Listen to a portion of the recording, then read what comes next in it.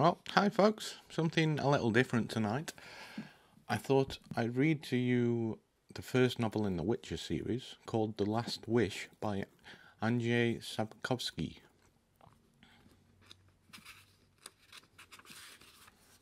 The Voice of Reason 1. She came to him towards morning.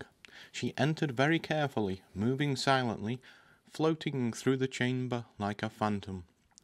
The only sound was that of her mantle brushing her naked skin. Yet this faint sound was enough to wake the Witcher, or maybe it only tore him from the half slumber in which he rocked monotonously, as though travelling through fathomless depths, suspended between the seabed and its calm surface, amidst gently undulating strands of seaweed. He did not move, did not stir. The girl flitted closer, threw off her mantle, and slowly, hesitantly, rested her knee on the edge of the large bed. He observed her through lowered lashes, still not betraying his wakefulness. The girl carefully climbed onto the bedclothes and onto him. Wrapping her thighs around him, leaning forward on straining arms, she brushed his face with hair which smelt of chamomile. Determined, and as if impatient, she leant over and touched his eyelids, cheek, lips with the tips of her breasts. He smiled very slowly, delicately, grasping her by the shoulders, and she straightened, escaping his fingers. She was radiant, luminous in the misty brilliance of dawn. He moved, but with pressure from both hands, she forbade him to change position, and with a light but decisive movement of her hips, demanded a response. He responded. She no longer backed away from his hands. She threw her head back, shook her hair. Her skin was cool and surprisingly smooth. Her eyes glimpsed when her f- face came close to his, were huge and dark as the eyes of a water nymph. Rocked, he sank into a sea of chamomile as it grew agitated and seethed. Chapter 1 Later it was said the man came from the north, from Roper's Gate. He came on foot, leading his laden horse by the bridle. It was late afternoon, and the ropers, saddlers, and tanners' stalls were already closed, the street empty. It was hot, but the man had a black coat thrown over his shoulders, he drew attention to himself. He stopped in front of the old Narakort Inn, stood there for a moment, listened to the hubbub of voices. As usual at this hour, it was full of people. The stranger did not enter the old Narakort. He pulled his horse further down the street to another tavern, a smaller one, called the Fox. Not enjoying the best reputations, it was almost empty. The innkeeper raised his head above a barrel of pickled cucumbers and measured the man with his gaze. The outsider, still in his coat, stood stiffly in front of the counter, motionless and silent. What will it be? Beer, said the stranger. His voice was unpleasant. The innkeeper wiped his hands on his canvas apron and filled a chipped earthenware tankard. The stranger was not old, but his hair was almost entirely white, Beneath his coat he wore a worn leather jerkin laced up at the neck and shoulders. As he took off his coat, those around him noticed that he carried a sword. Not something unusual in itself. Nearly every man in Wyzim carried a weapon, but no one carried a sword strapped to his back as if it were a bow or a quiver. The stranger did not sit at the table with the few other guests. He remained standing at the counter, piercing the innkeeper with his gaze. He drew from the tankard. I am looking for a room for the night. There's none, grunted the innkeeper, looking at the guest's boots, dusty and dirty. Ask at the old Narakort. I would rather stay here. There is none, the innkeeper finally recognized the stranger's accent. He was Rivian. I'll pay. The outsider spoke quietly, as if unsure, and the whole nasty affair began a pock-marked beanpole of a man who, from the moment the outsider had entered, had not taken his gloomy eyes from him, got up and approached the counter. Two of his companions rose behind him, no more than two paces away. There's no room to be had, you Rivian vagabond, rasped the pockmarked man, standing right next to the outsider. We don't need people like you in Wyzim. This is a decent town. The outsider took his tankard and moved away. He glanced at the innkeeper, who avoided his eyes. It did not even occur to him to defend the Rivian. After all, who liked Rivians? All Rivians are thieves, the pockmarked man went on, his breath smelling of beer, garlic, and anger. Do you hear me, you bastard? He can't hear you. His eyes are full of shite, and one of the men with him, and the second man crackled. Pay and leave, yelled the pocked man. Only now did the Rivian look at him. I'll finish my beer. We'll give you a hand, the pockmarked man hissed. He knocked the tankard from the stranger's hand and simultaneously grabbed him by the shoulder, dug his fingers into the leather strap which ran diagonally across the outsider's chest. One of the men behind him raised a fist to strike. The outsider curled up on the spot, throwing the pockmarked man off balance. The sword hissed in its sheath and glistened briefly in the dim night. The place seethed. There was a scream, and one of the few remaining customers tumbled towards the exit. A chair fell with a crash, and earthenware smacked hollowly against the floor. The innkeeper, his lips trembling, looked at the horribly slashed face of the pockmarked man, who, clinging with his fingers to the edge of the counter, was slowly sinking from sight.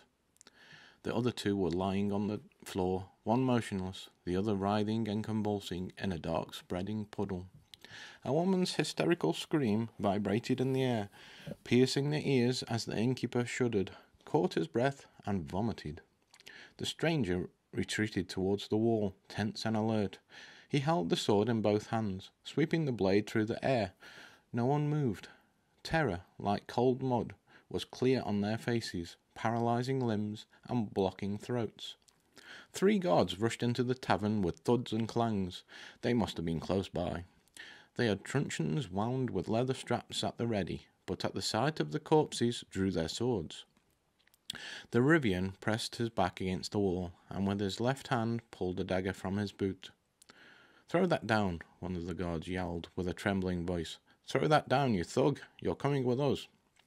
The second guard kicked aside the table between himself and the Rivian. Go get the men, Treshka, he shouted to the third guard, who had stayed closer to the door. No need, said the stranger, lowering his sword. I'll come by myself. You'll go, you son of a bitch, on the end of a rope, yelled the trembling guard. Throw that sword down, or I'll smash your head in. The Rivian straightened. He quickly pinned his blade under his left arm, and with his right hand raised towards the guards, swiftly drew a complicated sign in the air. The clout nails which studded his tunic from his wrist to elbows flashed. The guards drew back, shielding their faces with their arms. One of the customers sprang up while another darted to the door. The woman screamed again, wild and ear splitting. I'll come by myself, repeated the stranger in his resounding metallic voice, and the three of you will go in front of me. Take me to the castellan. I don't know the way. Yes, sir, mumbled the guard. Dropping his head, he made towards the exit. Looking around tentatively, the other two guards followed him out backwards, hastily. The stranger followed in their tracks, sheathing, sheathing his sword and dagger. As they passed the tables, the remaining customers hid their faces from the dangerous stranger. Chapter 2 Velerad, Castellan of Wyzim, scratched his chin. He was neither superstitious nor faint hearted, but he did not relish the thought of being alone with the white haired man. At last he made up his mind. Leave, he ordered the guards. And you, sit down. No, not there. Further away, if you please. The stranger sat down.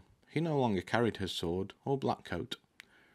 I am Velerad, Castellan of Wyzim, said Velerad, toying with a heavy mace lying on the table, and I am listening. What do you have to say to me, you brigand, before you are thrown into the dungeon? Three killed in an attempted spell casting. Not bad, not bad at all. Men are impaled for such things in Wyzim, but I'm just a man, so I will listen to you before you are executed. Speak. The Rivian unbuttoned his jerkin and pulled out a wad of white goat leather.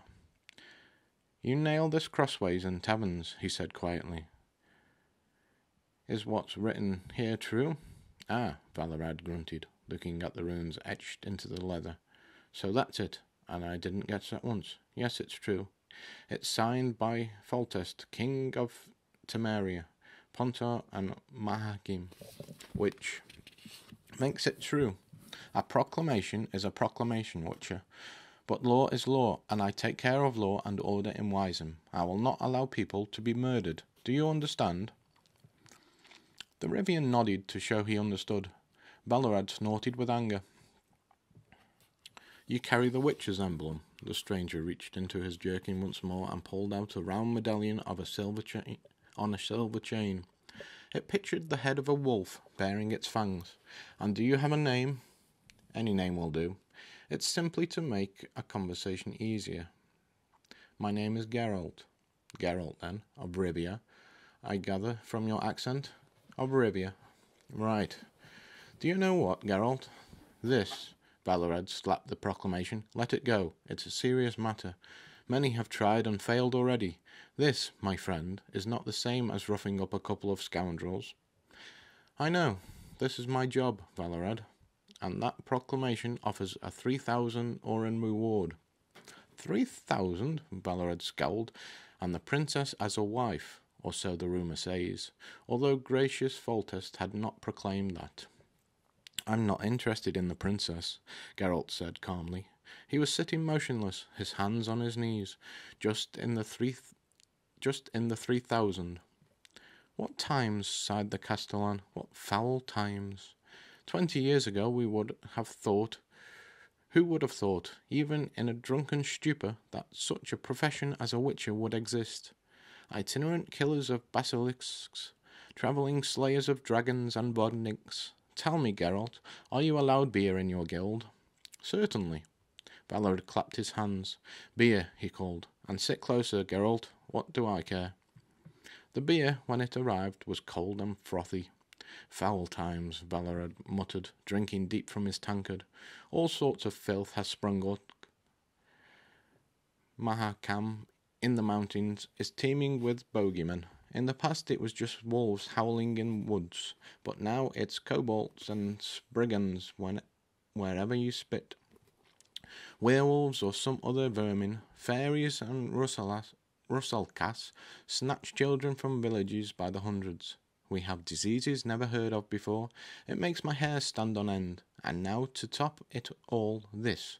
He pushed the wad of leather back across the table. It's not surprising, Geralt, that you witches' services are in demand. The King's proclamation, Castellan, Geralt raised his head. Do you know the details? Velerad leant back in his chair, locked his hands over his stomach. The details, yes, I know them. Not first hand, perhaps, but from a good source. That's what I want. If you insist, then listen. Velerad drank some beer and lowered his voice. During the reign of during the reign of old Medell, his father, when our gracious king was still a prince, Foltest showed us what he was capable of, and he was capable of a great deal. We hoped he would grow out of it, but shortly after his coronation, Foltest surpassed himself. Jaw droppingly, he got his own sister with child. Ada was younger, and they were always together, but nobody suspected anything except, perhaps, the Queen. To get to the point, suddenly there is Ada with a huge belly and Foltest talking about getting wed to his sister. The situation was made even more tense because Vizimir of Novigrad wanted his daughter Dalka to marry Foltest and had already sent out his envoys. We had to rest- restrain Foltest from insulting them, and lucky we did, or Vizimir would have torn our insides out. Then not without Ada's help, for she influenced her brother, we managed to dissuade the boy from a quick wedding. Well, then Ada gave birth. And now listen, because this is where it all starts. Only a few saw what she bore, but one midwife jumped from the tower window to her death, and the other lost her senses, and remains dazed to this day. So I gather that the royal bastard, a girl, was not comely, and she died immediately. No one was in a hurry to tie the umbilical cord, nor did Ada, to her good fortune, survive the birth. But then Foltest stepped in again. Wisdom dictated that the royal bastard should have been burned or buried in the wilderness. Instead, on the orders of our gracious king, she was laid to rest in a sarcophagus in the vaults beneath the palace. It's too late for your wisdom now, Geralt raised his head. One of the knowing ones should have been sent for. You mean those charlatans with stars on their hats? Of course. About ten of them came running later, when it became known what lay in the sarcophagus, and what scrambled out of it at night. Though it didn't start manifesting straight away. Oh no. For seven years after the funeral there was peace. Then one night it was a full moon. There were screams in the palace, shouting and commotion. I don't have to tell you. This is your trade, and you've read the proclamation. The infant had grown in the coffin, and how? Grown to have incredible teeth. In a word, she became a striga. Pity you didn't see the corpses as I did. Had you, you'd have taken a great detour to avoid Wyzim. Geralt was silent. Then, as I was saying, Velerad continued, Foltest summoned a whole crowd of sorcerers. They all jabbered at the same time, and almost came to blows with those staffs they carry, to beat off the dogs, no doubt, once they've been set loose on them. And I think they regularly are. I'm sorry, Geralt, if you have a different opinion of wizards. No doubt you do, in your profession, but to me they are swindlers and fools. You witches inspire greater confidence in men. At least you are more straightforward. Geralt smiled, but didn't comment. But to the point, the castellan peered into his tankard and poured more beer for himself and the Rivian. Some of, some of the sorcerer's advice didn't seem so stupid. One suggested burning the striga together with the palace and the sarcophagus.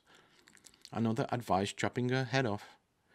The rest were keen on driving aspen stakes into her body during the day, when the she devil was asleep in her coffin worn out by a night's delights. Unfortunately, one, a jester, with a pointed hat and a bald pate, a hunchbacked hermit, argued it was magic. The spell could be undone, and the striga would turn into Foltest's little daughter, as pretty as a picture. Someone simply had to stay in the crypt throughout the night, and that would be that. After which, can you imagine such a fool? He went to the palace for the night. Little of him was left in the morning, only, I believe, his hat and stick. But Foltest clung to his idea like a burro to a dog's tail.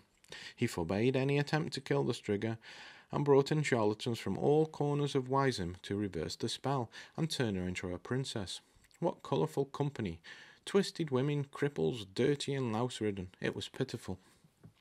They went ahead and cast spells, mainly over a bowl and tankard, of course, some were quickly exposed as frauds by Foltest or the council. A few were even hung on their palisades, but not enough of them. I would have hung them all. I don't suppose I have to say that the Striga, in the meantime, was getting her teeth into all sorts of people every now and again, and paying no attention to the fraudsters and their spells. Or that Foltest was no longer living in the palace. No one lived there any more. Velerad paused, drank some beer, and the Witcher waited in silence. And so it's been for seven years, Geralt, because she was born around fourteen years ago. We've had a few other worries, like war, with Vizimir of Novigrad. Fought for real, understandable reasons, over the border posts. Not for some princess or marriage alliance. Foltest sporadically hints at marriage and looks over portraits from neighbouring courts, which he then throws down the privy and every now and then this mania seizes hold of him again, and he sends horsemen out to look for new sorcerers. His promised reward, the three thousand, has attracted any number of cranks, stray knights, even a shepherd known throughout the whole region as a cert- as a cretin. May he rest in peace. But the Striga is still doing well. Every now and again she gets her teeth into someone. You get used to it. And at least those heroes trying to reverse the spell, have a use. The beast stuffs herself on the spot and doesn't roam beyond her palace. Foltest has a new palace, of course, quite a fine one. In seven years, Geralt raised his head. In seven years, no one has settled the matter? Well, no, Velerad's gaze penetrated the Witcher. Because the matter can't be settled. We have to come to terms with it, especially Foltest, our gracious and beloved ruler, who will keep nailing these proclamations up at crossroads, although there are, there are fewer volunteers now. There was one recently, but he insisted on the 3,000 in, in advance, so we put him in a sack and threw him in the lake. There is still no shortage of fraudsters, then. No, far from it, Castellan agreed without taking his eyes off the Witcher. That's why you mustn't demand gold in advance when you go to the palace, if you go. I'll go. It's up to you. But remember my advice. As we are talking of the reward, there has been word recently about the second part of it. I mentioned it to you, the princess for a wife. I don't know who made it up, but if the Striga looks the way they say, then it's an exceptionally grim joke. Nevertheless, there's been no lack of fools racing to the palace for the chance of joining the royal family. Two apprentice shoemakers, to be precise. Why are shoemakers so foolish, Geralt? I don't know. And witches, Castellan? Have they tried? There were a few, but when they heard the spell was to be lifted and the Striga wasn't to be killed, they mostly shrugged and left. That's one of the reasons why my esteem for witches has grown, Geralt. And one came along, younger than you, I forget his name, if he gave it at all. He tried, and the fanged princess spread his entrails over a considerable distance. Geralt nodded. That was all of them? There was one other. Velerad maintains, remained silent for a while, and the Witcher didn't urge him on. Yes, the Castellan said finally. There was one more. At first, when Foltest threatened him with the noose if he killed or harmed the Striga, he laughed and started packing his belongings. But then, Velerad leaned across the table lowered his voice to almost a whisper. Then he undertook the task. You see, Geralt, there are some wise men in Wyzim, in high positions, who've had enough of this whole affair. Rumour has it these men persuaded the Witcher, in secret, not to fuss around with spells, but to batter the Striga to death and tell the king the spell had failed, that his dear daughter had been killed in self defence. An accident at work. The king, of course, would be furious and refuse to pay an Oren in reward, but that would be the end to it. The witty witcher replied, We could have chased the Strigas ourselves for nothing. Well, what could we do? We collected money, bargained, but nothing came of it. Geralt raised his eyebrows. Nothing, repeated Velerad. The witcher didn't want to try that, that first night. He trudged around, lay in wait, wandered about the neighbourhood. Finally, they say, he saw the Striga in action, as she does not clamber from her crypt just to stretch her legs. He saw her and Scarped that night, without a word. Geralt's expression changed a little, in what was probably supposed to be a smile. Those wise men, he said, they still have the money, no doubt? Witches don't take payment in advance. No doubt they still do, said Velerad. Does the rumour say how much they offer? Velerad bared his teeth in a smile. Some say eight hundred. Geralt shook his head. Others, murmured the Castellan, talked of a thousand. Not much when you bear in mind the rumour likes to exaggerate. And the king is offering three thousand. Don't forget about the betrothed, Velerad mocked. What are you talking about? It's obvious you won't get the 3,000. How's it obvious? Velerad thumped the table. Geralt, do not spoil my impression of witches. This has been going on for more than seven years.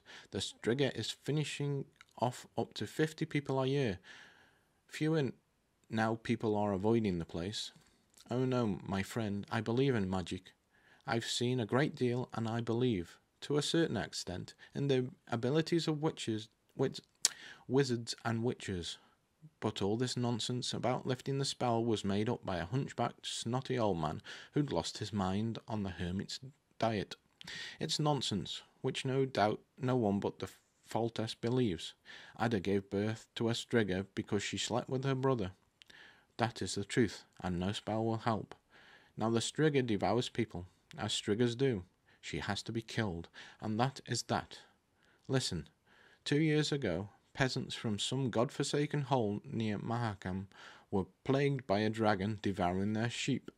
They set out together, battered the dragon to death with stanchions, and did not even think it worth boasting about.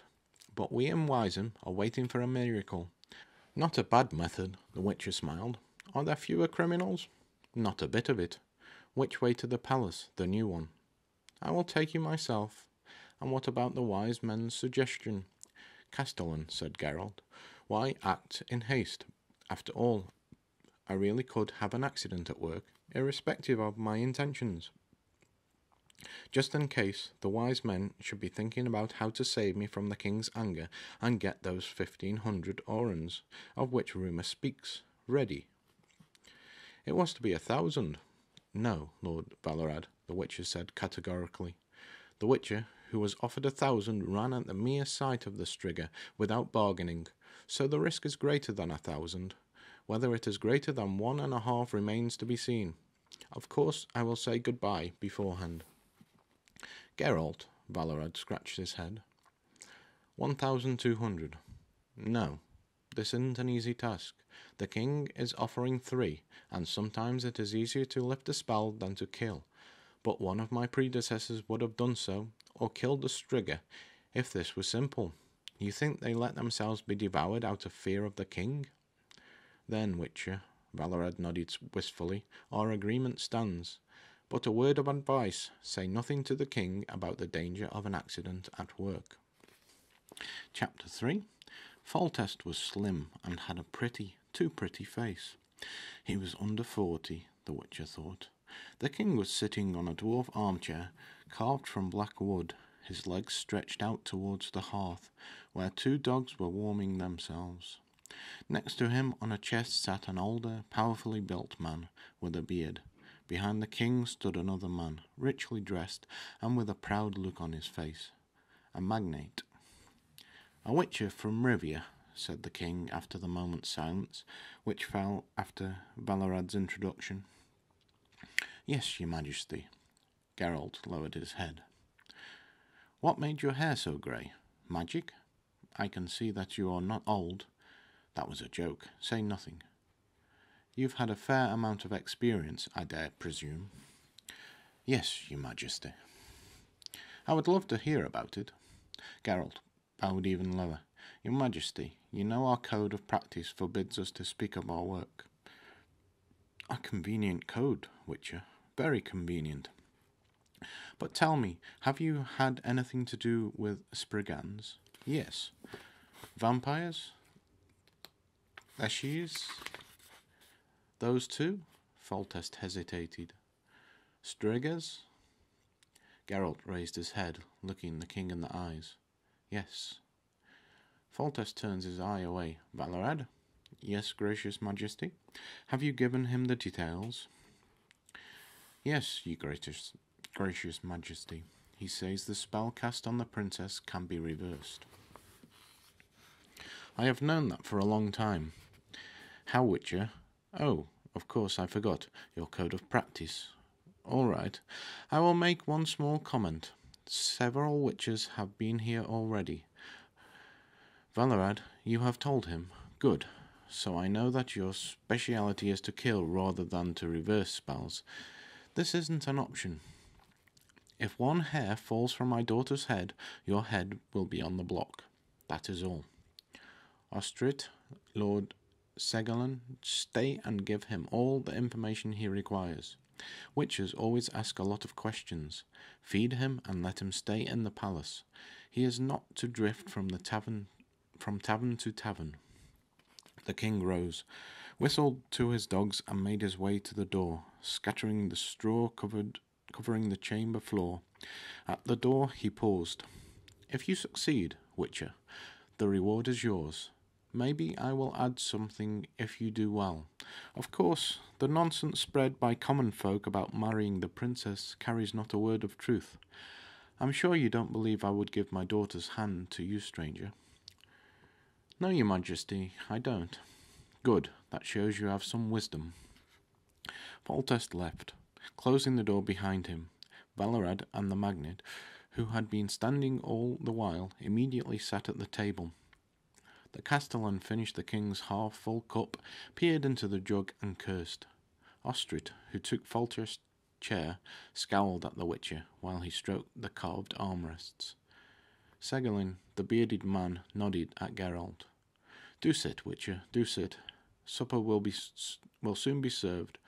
What would you like to know? Castellan Velerad has probably already told you everything. I know him. He has sooner told you too much than too little. Only a few questions. Ask. The Castellan said that after the Striga's appearance, the king called up many knowing ones. That's right. But don't say Striga, say princess. It makes it easier to avoid making a mistake in the king's presence, and any consequent unpleasantness. Was there anyone well known among the knowing ones? Anyone famous? There were such, then and later. I don't remember the names. Do you, Lord Ostrit? I don't recall, said the magnate, but I know some of them enjoyed fame and recognition. There was much talk of it. Were they in agreement that the spell can be lifted? They were far from any agreement, smiled Segelin, on any subject, but such an opinion was expressed. It was supposed to be simple, not even requiring magical abilities. As I understand it, it would suffice for someone to spend the night from sunset to the third crowing of the cock by the sarcophagus. Simple indeed, snorted Velerad. I would like to hear a description of the the princess. Velerad leapt up from his chair. The princess looks like a striga, he yelled. Like the most striggish striga I have heard of. Her Royal Highness, the cursed royal bastard, is four cubits high, shaped like a barrel of beer, has a maw which stretches from ear to ear and is full of dagger-like teeth, has red eyes and a red mop of hair. Her paws, with claws like a wild cat's, hang down to the ground. I'm surprised we've yet to send her likeness to friendly courts. The princess, plague choker, is already fourteen. Time to think of giving her hand to a prince in marriage. Hold on, Velerad, frowned Ostrit, glancing at the door. Segelin smiled faintly. The description, although vivid, is reasonably accurate. And that's what you wanted, isn't it, Witcher? Velerad didn't mention that the princess moves with incredible speed and is far stronger for her height and build than one would expect, and she is fourteen years old, if that is of any importance. It is, said the Witcher. Do the attacks on people only occur during the full moon? Yes, replied Sag- Segelin. If she attacks beyond the old palace, within the palace walls, people always die, irrespective of the moon's phase. But she only ventures out during the full moon, and not always then. Has there been even one attack during the day? No. Does she always devour her victims? Velerad spat vehemently on the straw. Come on, Geralt. It'll be supper soon. Pish, devours, take a bite, takes a bite, and leave, leaves aside. It varies according to her mood, no doubt. She only bit his head from one, gutted a couple, and a few more she picked clean to the bone, sucked them dry, you could say. Damn mothers. Careful, Velerad, snarled Ostrit. Say what you want about the Striga, but do not insult Ada in front of me, as you would not dare in the king's presence. Has anyone she's attacked survived? The Witcher asked, apparently paying no special attention to the magnate's outburst. Segelin and Ostrit looked at each other. Yes, said the bearded man. At the very beginning, seven years ago, she threw herself at two soldiers standing guard over the crypt. One escaped. And then, interrupted Velerad, there was another, the miller she attacked near the town. You remember? Chapter 4 the following day, late in the evening, the miller was brought to the small chamber above the guardhouse allocated to the Witcher. He was led in by a soldier in a hooded coat. The conversation did not yield any significant results. The miller was terrified. He mumbled and stammered, and his scars told the Witcher more than he did.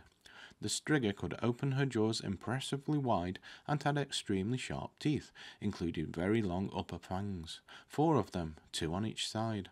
Her claws were sharper than a wildcat's, but less curved, and it was only because of that the miller had managed to tear himself away. Having finished his examination, Geralt nodded to the miller and soldier, dismissing them. The soldier pushed the peasant through the door and lowered his hood. It was Foltest himself. Sit, do not get up, said the king. This visit is unofficial. Are you happy with the interview? I heard you were at the palace this morning. Yes, your majesty. When will you set about your task? It is four days until the full moon. After that. You prefer to have a look at her yourself beforehand? There is no need, but having had her fill, the the princess will be less active. Striga, Master Witcher, Striga, let us not play at diplomacy. She will be a princess afterwards, and that is what I have come to talk about. Answer me unofficially, briefly, and clearly. Will it work or not? Don't hide behind your code. Geralt rubbed his brow. I confirm, your majesty, that the spell might be reversed, and unless I am mistaken, it can be done by spending the night at the palace. The third crowing of the cock, as long as it catches the striga outside her sarcophagus, will end the spell. That is what is usually done with strigas. So simple? It is not simple. First, you have to survive the night. Then there are exceptions to the rule. For example, not one night, but three, consecutively. There are also cases which are, well, hopeless. Yes, Foltest bristled. I keep hearing that from some people. Kill the monster because it's an incurable case, Master Witcher. I uh, am sure they have already spoken to you. Am I right? Hack the man-eater to death without any more fuss at the beginning and tell the king nothing else could be done. I won't pay, but they will. Very convenient and cheap, because the king will order the witcher beheaded or hanged, and the gold will remain in their pockets. The king unconditionally orders the witcher to be beheaded. Geralt grimaced. Foltest looked at the Rivian in the eyes for a long while. The king does not know, he finally said, but the witcher should bear such an inevitability in mind. Geralt was silent for a moment. I intend to do what is in my power, he said, but if it goes badly, I will defend my life, your majesty. You must also be prepared for such an eventuality. Foltest got up. You do not understand me. It's obvious you'll kill her if it becomes necessary, whether I like it or not, because otherwise she'll kill you, surely and inevitably. It won't punish anyone who kills her in self defense. But I will not allow her to be killed without trying to save her. There have already been attempts to set fire to the old palace. They shot at her with arrows, dug pits, and set traps and snares until I hung a few of her attackers. But that is not the point. Witcher, listen. I'm listening. After the third crowing of the cock, there will be no striga, if I understand correctly. What will there be? If all goes well, a fourteen year old girl. With red eyes, crocodile teeth, a normal 14 year old girl, except that, well, physically, I see, and mentally, every day, a bucket of blood for breakfast, a little girl's thigh. No, mentally, there is no telling, on the level, I think, of a three or four year old child. She'll require loving care for a long while. That's obvious, Witcher. I'm listening. Can it happen to her again later on? Geralt was silent. Ah, said the king, I can. And what then? Should she die after a long swoon lasting several days, her body will have to be burned quickly. Foltest grew gloomy. I do not think it will come to that, added Geralt. Just to be sure, I will give you some instructions, your majesty, to lessen the danger. Right now, it is not too soon, Master Witcher, and if Right now, interrupted the Rivian. Many things may happen, Your Majesty. It could be that you'll find a princess in the morning, the spell already broken, and my corpse. Even so, despite my permission to defend yourself, which it seems wasn't that important to you, this is a serious matter, Your Majesty. The risk is great. That is why you must listen. The princess should always wear a sapphire around her neck, or better, an inclusion on a silver chain, day and night. What is an inclusion? A sapphire with a pocket of air trapped within the stone. Aside from that, every now and then you should you should burn juniper, broom, and aspen in the fireplace of her chamber. Foltest grew pensive. And thank you for your advice, Witcher. I will pay heed if. And now listen to me carefully. If you find the case is hopeless, kill her. If you undo the spell, but the girl is not normal, if you have a shadow of doubt as to whether you have been entirely successful, kill her. Do not worry, you have nothing to fear from me. I'll shout at you in front of the others, banish you from the palace and the town, nothing more. Of course, I won't give you the reward, but maybe you'll manage to negotiate something from you know who. They were both quiet for a while. Geralt, for the first time, Foltest called the Witcher by his name. Yes, how much truth is there in the rumour that the child is as she is because Ada was my sister? Not much. A spell has to be cast. They don't cast themselves. But I think your congress with your sister was the reason the spell was cast, and this is the result. As I thought. That is what some of the knowing ones said, although not all of them, Geralt. Where do such things come from? Spells? Magic? I don't know, your majesty. Knowing one study the causes of such phenomena. For us witches, the knowledge that, con- that concentrated will can cause such phenomena is enough.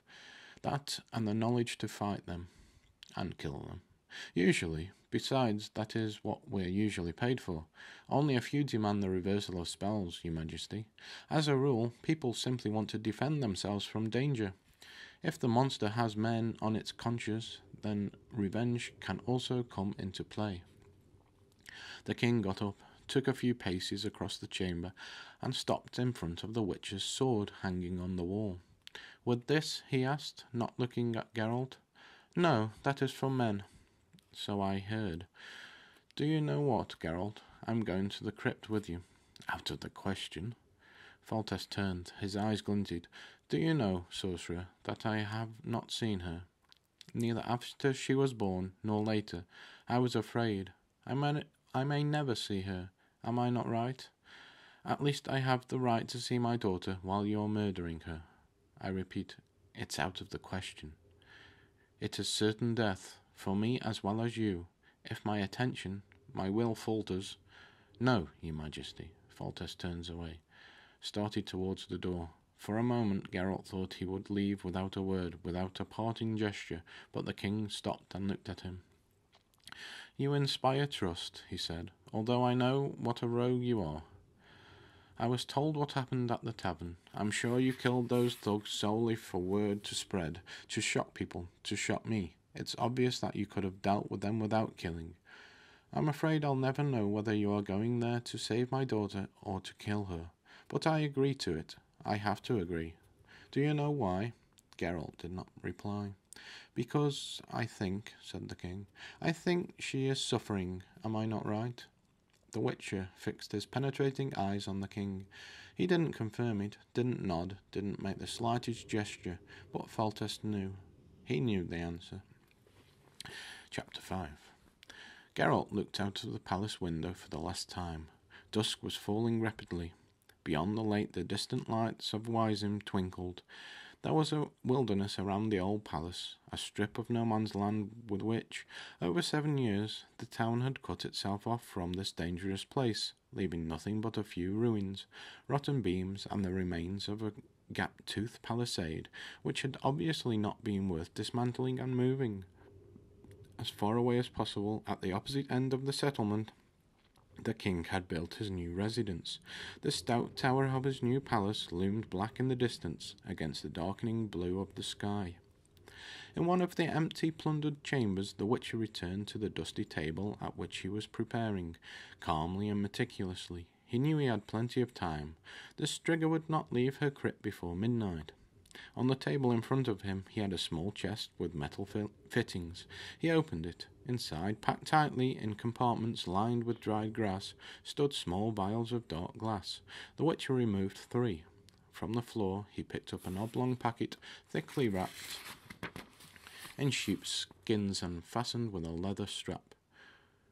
He unwrapped it and pulled out a sword with an elaborate hilt. In the black, shiny scabbard covered with rows of runic signs and symbols, he drew the blade, which lit up with a purple shine of mirror like brightness. It was pure silver. Geralt whispered an incant- incantation and drank, one after the other, the contents of two vials, placing his left hand on the blade of the sword after each sip. Then, wrapping himself tightly in his black coat, he sat down on the floor. There were no chairs in the chamber or in the rest of the palace. He sat motionless, his eyes closed. His breathing, at first even, suddenly quickened, became rasping and tense, and then stopped completely. The mixture which helped the Witcher gain full control of his body was chiefly made up of vereti, veratrum, stramonium, hawthorn, and spurge. The other ingredients had no name in any human language. For anyone who was not, like Geralt, inured to it from childhood, it would have been lethal poison. The Witcher turned his head abruptly. In the silence, his hearing sharpened beyond measure easily picked out a rustle of footsteps through the courtyard, overgrown with stinging nettles. It could not be the Striga, the steps were too light. Geralt threw his sword across his back, hid his bundle in the hearth of the ruined chimney place, and, silent as a bat, ran downstairs. It was still light enough in the courtyard for the approaching man to see the witch's face. The man, Ostrit, backed away abruptly, an involuntary grimace of terror and repulsion contorted his lips. The Witcher smiled wryly. He knew what he looked like. After drinking a mixture of Banewood, Monk's Hood, and Eyebright, the face takes on the colour of chalk, and the pupils fill the entire iris. But the mixture enables one to see in the deepest darkness, and this is what Geralt wanted. Ostrit quickly regained control. You look as if you were already a corpse, Witcher, he said. From fear, no doubt. Don't be afraid. I bring you reprieve. The Witcher did not reply. Don't you hear what I say, you Rivian charlatan? You're saved, and rich. Ostrit hefted a sizable purse in his hand and threw it at Geralt's feet. A thousand orens. Take it, get on your horse, and get out of here. The Rivian still said nothing. Don't gawp at me, Ostrit raised his voice, and don't waste my time. I have no intention of standing here until midnight. Don't you understand? I do not wish you to undo the spell. No, you haven't guessed. I am not in league with Velerad and Segelin. I don't want you to kill her. You are simply to leave. Everything is to stay as it is. The Witcher did not move. He did not want the magnate to realize how fast his movements and reactions now were. It was quickly growing dark. A relief, as even the semi-darkness darkness of dusk was too bright for his dilated pupils. And why, sir, is everything to remain as it is? he asked, trying to enunciate after each word slowly. Now that um, Ostrit raised his head proudly, should really be of li- li- should really be of damn little concern to you. And what if I already know? Go on, it will be easier to remove Foltest from the throne if the Striga frightens the people even more.